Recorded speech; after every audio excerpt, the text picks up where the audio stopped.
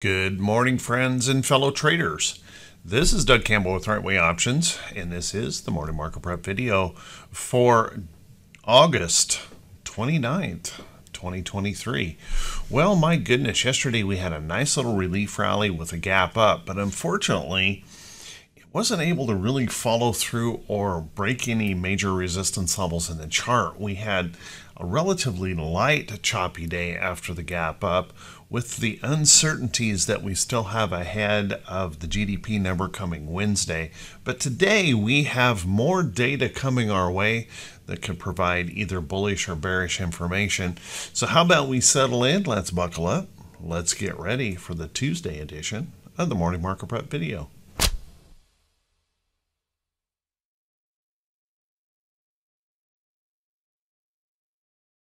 Good morning once again, everyone, and thank you so much for being here. I do very much appreciate it. Let's take a look at these charts and see if we can figure out how we might want to approach the market for today. Well, clearly we still have some resistance here in the diamonds chart as you can see, we have rallied up here to test that resistance in the chart. Can't quite break through it just yet. We're trying to push a little bit more this morning, trying to bump up through there. There are some earnings that may provide some inspiration to help either push through or fail at that resistance area of the chart. But let's keep an eye on that pretty closely this morning as all this data rolls out. Now, if the bulls were to continue to find inspiration and could break this level right here in the chart, well, the next place we want to be looking at, let's go over here to our moving averages. We're going to look right in here around that 50 day moving average to see if we can break through that area here in the chart. Notice that short-term moving averages are coming down, creating that technical resistance level in the chart. However, if they can break through that area, then I think the next place that we would probably test is right up here around um, these big candles. Notice we had this big up candle and the big down candle right in the same zone. So right above that area would probably be the next level of price resistance if we can pop through that 50 day moving average. Keep in mind that the diamonds is the only index that has recovered its um, uh, trend here to the upside. So it has probably the um, the best chances, I should say, in maybe pushing through to that upside move and testing higher resistance levels, breaking through that 50. If we look at the SPY, however, SPY, a little bit more of a challenge here. We're still underneath our trend in the SPY, but you'll notice we've got a, a pretty substantial resistance up here with that big candle in the way. And if we look a little deeper here, that's right where that 50-day moving average is. Notice our short-term moving averages are, have crossed down, creating this zone of resistance right in here, suggesting we're going to need some sub substantial inspiration maybe to push on through that level here in the chart. But if we do, if we can break through here, I think the next level above is going to be right up in here to see whether or not we can push through that area of the chart. If the bears were to find inspiration, then of course just a retest back down here would look like the likely um, plan. And I forgot to mention that on the diamonds, but I would suggest that the next pullback, might we might pull back into that little area price support in there, maybe test the trend if the bears were to be inspired. If we take a look at our QQQ, very similar situation here, the QQQ trying to stretch up. Good news on these, uh, on the SPY and the QQQ is that we did make higher lows, so we're trying to hold in here. But if you look in this chart, my goodness, there are multi-levels of price resistance in the chart. We've got the downtrend here. We've got our uptrend break that will, provide some resistance in this area. We've got price resistance in here. So, and it all kind of comes together right in this area of price resistance. And as we push back up, we'll see if we were able to break through there. Now, you'll also want to keep in mind that if we look in that chart right up near the top of that big black candle, is where we have our 50 day moving average with our short term moving averages having already crossed down through. So we have a pretty strong zone of price resistance right in here. We're going to need some kind of nice bullish inspiration to push us through there. And perhaps we get it in some of the data.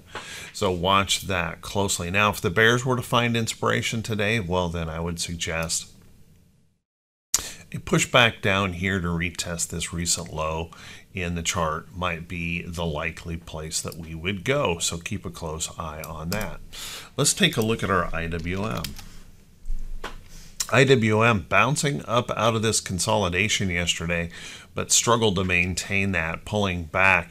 So if you look at IWM eh, here again, we've got multiple levels of resistance in the chart. We're struggling with this area here, and if we can push through with the bulls, then we'll look for this bigger resistance area up here in the chart. And if we take a quick look right here, that's going to be up there around that 50-day moving average. And notice our short-term moving average coming down and creating that technical zone of, uh, of resistance there as well. The good news is this is a good hold of the 200 day moving average, but we're going to need some kind of inspiration to push us up there. And then keeping in mind that we might just be rallying back to the next lower high in the chart. So take an example of rally back up into here. That sets the downtrend here in the IWM, and we would build ourselves a head and shoulders pattern in that chart. So watch carefully for that possibility. Then let's take a look at our VIX. Our VIX did rest and pull back here enough that we broke this upside trend. That's good news for the bulls. If we can continue to see that pullback in here, watch that closely. Remember, we broke this downtrend in here, made the higher low. That brought those bears out. And, you know, the interesting thing is really nothing has changed um, in in the markets. Uh, certainly, China is still stressed. We still got a lot of problems over in Europe. We're we're still uncertain about what the Fed is going to be doing on rates. Um, if we uh, continue to relieve that pressure, let's look for a price support test down in here uh, today to see if we can hold that area and then bounce off if the bears were to engage. If the bulls find lots of inspiration, well, maybe we break this on back down here in the chart and really um, give us that suggestion that there is no fear of the market out there. Then let's take a look at our T2122. T2122 had a nice relief yesterday, bouncing up. Boy, we struggled coming up out of this basement, but we had a nice move yesterday on that gap up move. But essentially, we didn't get much follow through after that gap up. So what that does is it tells us the way this is set up is if those bulls find inspiration, we have about an equal weight for um, an upside move if the bulls find the inspiration or and about the same um, size move for a potential to the downside if the bears were to find inspiration today. So keep a close eye on that as all these data points roll out and we have that uncertainty of the GDP number coming on Wednesday morning. Let's take a look at our T2108. Now, it, with that big popping move in the market, we did uh, improve here on T2108, but boy, not it's not so much as to make me feel like, wow, the bulls were really excited about diving into the market. As you can see, we're pressing up here into a price resistance zone on T2108. 33, 32, 33% of the stocks holding above their 40-day moving average. Kind of tough to build a really big bullish case on that, but it does show us kind of that oversold condition still if we can find additional um, inspiration to push on higher. If we look at our T2107, T2107, whoops, the right one here. T2107 did a better job pushing up. Notice we broke through these levels right in here, popped up through there a little bit more, and we're holding on some support areas here in the chart. About 46% of the stocks above their 200-day moving average, so hanging in there pretty well overall. You will want to keep in mind that we're going to be coming into a zone of price resistance up here as well as we approach that 50% on this rally back. So kind of keep that in mind. One of the things that really did concern me, however, is that our breadth continued to pull back yesterday.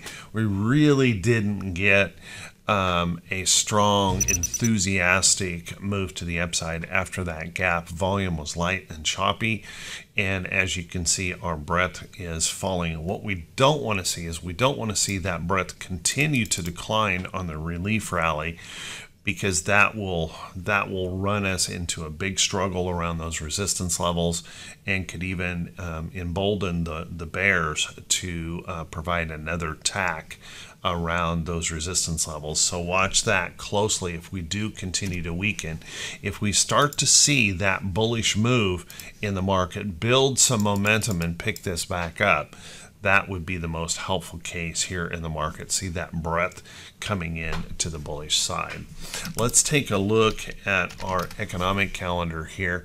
Now, our economic calendar, we've got a few things to be thinking about here today. Um, we're going to have Case Shiller numbers coming out here this morning. According to consensus, um, in here, they're expecting this to show just a modest um, improvement here on the Case Shiller home price index. So watch that carefully. Uh, we're going to get consumer confidence coming out. Unfortunately, consensus is suggesting that's going to slip just a little bit. The confidence has declined. Watch that one closely.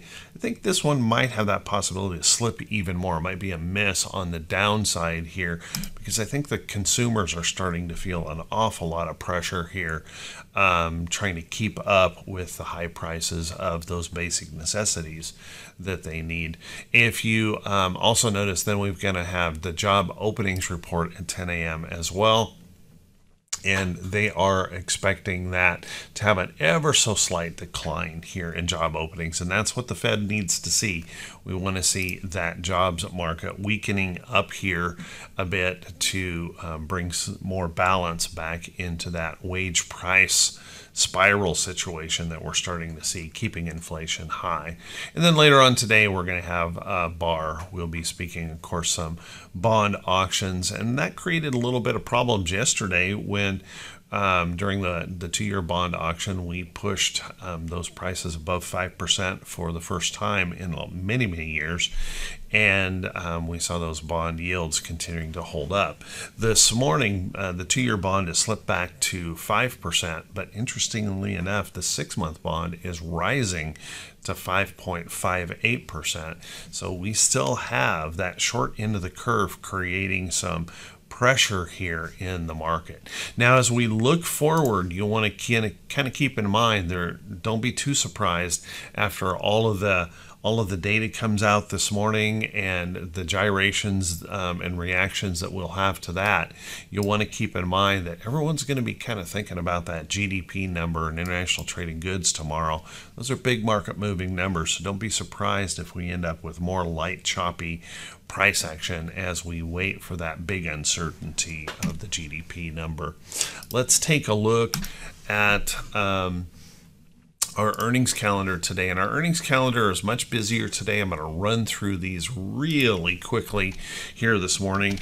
Um, AMBA will be reporting today, AMWD will be um, reporting today. We've heard from uh, Best Buy and Best Buy popping up on better than expected earnings, but maybe some downside guidance here, uh, creating a little bit of a problem, a little bit of pop and drop in the pre market going on on Best Buy. We got uh, Big Lots reporting today, and that's getting a nice pop here this morning. We're going to hear from a Box today. Um, keep an eye on that one. CTLT will be reporting. We've got uh, DCI reporting today. We're going to hear from HPE and HPQ later on today. Um, we've got a defensive sector stock, Smuckers, SJM, pushing to the upside. We've been seeing a lot of the defensive sector stocks really, really weak, but we're pushing up into this downtrend and a nice pop this morning. Uh, keep an eye on that. Um, MBUU will be on the list today, and IO is one I know a lot of folks are paying attention to. That'll be reporting today. Looks like we got a little bearishness coming in here first thing this morning. Uh, PDD, nice pop here this morning on PDD on its earnings report. Um, another retailer uh, showing some bullishness here this morning. I haven't seen that for a while. Uh, PVH will be reporting, and ZTO is on that list for today. How about we take a look at a few stocks that could be setting up for today? But before we do that, guys, if you could do me this quick favor, if this is the first time you've seen these videos, if you could please click that subscribe button on YouTube and then also click that bell icon when it pops up so you'll be notified every time I post a video. And if you find these videos to be useful or helpful, do me that favor. Click that thumbs up button, leave a brief comment. That helps the channel to continue to grow. And if, if you feel the video is worthy, make sure you share it out on your social media feed. That helps a bunch. Remember, on comments, you can leave any kind of a comment. You can ask a question. I'd be happy to answer your questions. And also remember that even an emoji counts as reaction to the video and helps that engagement. So the algorithm of YouTube shares the videos with more people out there. Let's take a look at um, um, some stocks that could be setting up for today. And remember, guys, these are not recommendations to buy or sell any security. Make sure you do your own due diligence. Be very, very careful on how you um, move forward in this market. There's so much uncertainty in here. Um, just make sure you're following your trading rules, your trading guidance, um, your risk tolerances. Never ever blindly follow anyone else's trade ideas. First off, let's take a look at a few stocks that um, has have some interesting price patterns in here. LMT, you can see down in here in LMT, it's still moving in this downtrend. We've rallied up above this resistance level in the chart. What makes this interesting is that we're stuck between um, this trading range here in the chart. We can't seem to break down through this support. And we're struggling uh, to move higher. But right here, if you'll notice, we've got this little higher low trying to develop in here. If that can pop through there, that might be of interest. Keep an eye on LMT. Um, I was looking at U.S. Steel yesterday, and even with our dollar uh, continuing to move higher and showing lots and lots of strength, we're seeing um, U.S. Steel hold in here pretty well. U.S. Steel popped when um, they rejected the deal from Cleveland Cliffs. If you'll watch right in here, we're pushing back into some price support here into that chart that goes way back over here. If we can hold that price support in here, maybe rest a little bit, there may be some more upside here in U.S. Steel. Keep a close eye on that. Other commodities, as you know, I've been keeping a real close eye and talking about CCJ here uh, quite a bit. Uh, CCJ popped an alert that I had right in here, and I had an original alert back over in here on CCJ, continuing to move to the upside, looking very bullish. I think any rest or pullback would set up an opportunity there in CCJ. Take a look at um, um, Charter. Uh, Charter had a huge pop yesterday. Um, nice little resting pullback that occurred in here. We found a little price support, big pop yesterday. Keep an eye on that. If that can hold up here, this may well have more upside opportunity in it. Keep a close eye on that. Now, Google, for a big tech, has been struggling in this um, price range in here. We've been stuck between uh, the lows, stuck between the highs, haven't been able to get anything going. But what's important, I think, on this chart is if I were to draw a trend up through here, um, using this area here as a bit of an outlier in that period, we're moving closer and closer into this trend. So I would watch for that next opportunity to the upside. So keep an eye on Google.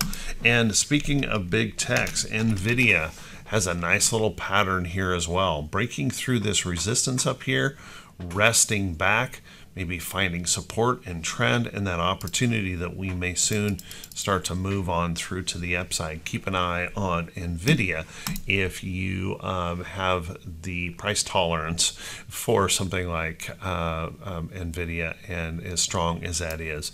Uh, take a look at um, some of the oil sector stocks. Um, if we're looking at APA, APA, pretty decent looking chart.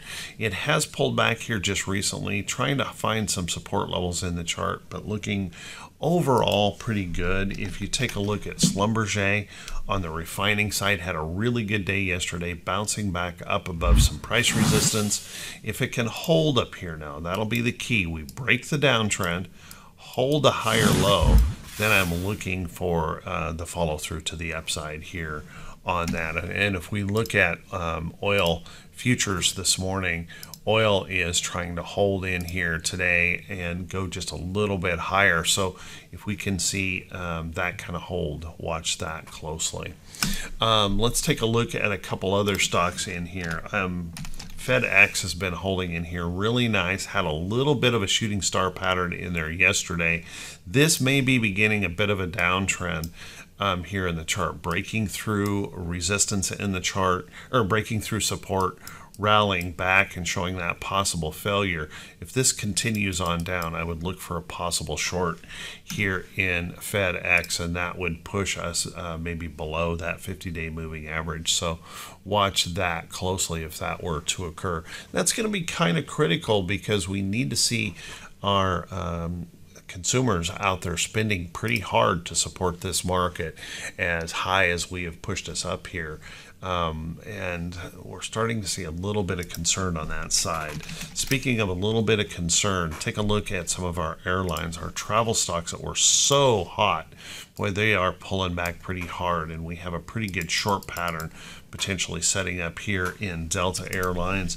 You can see the same on UAL. UAL struggling in here at this downtrend, resting over to trend and that possible failure that could occur in here. And there's a lot of lot of stocks in that sector showing some um, just some uncomfortable looks uh, to those patterns.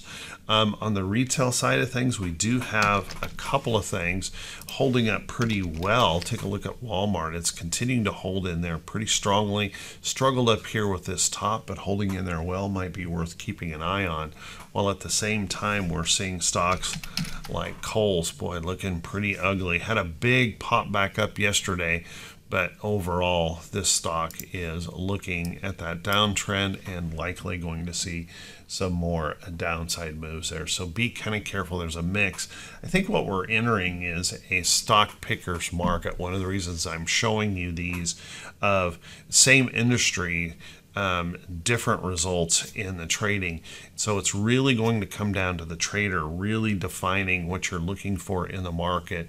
And there may be some uh, trading on both sides of this market to be paying attention to.